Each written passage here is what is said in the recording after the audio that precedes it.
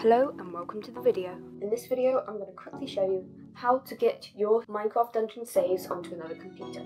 Firstly, go to Windows Explorer and click this bar at the top of the screen. Then, paste in the location of the folder which is in the description. Make sure you change user to whatever your username is.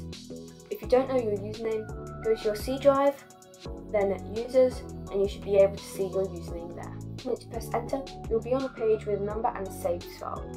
Number file is your heroes. Click the save file and copy it onto a USB stick or any other tool that allows you to transfer your data. On the new computer, go to that same address, remembering to change your username to whatever your username is on that computer.